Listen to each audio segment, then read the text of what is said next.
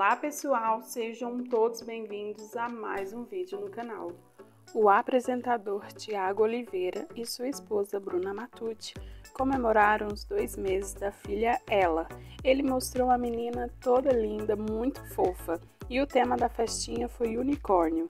Nas legendas das fotos, ele escreveu: Dois meses da minha nova vida, dois meses da nossa Ela. Amo conversar com a minha filha, fico horas contando sobre o meu dia, meus planos e é encantador ver o sorrisinho dela, principalmente quando eu falo beijo do papai, te amo.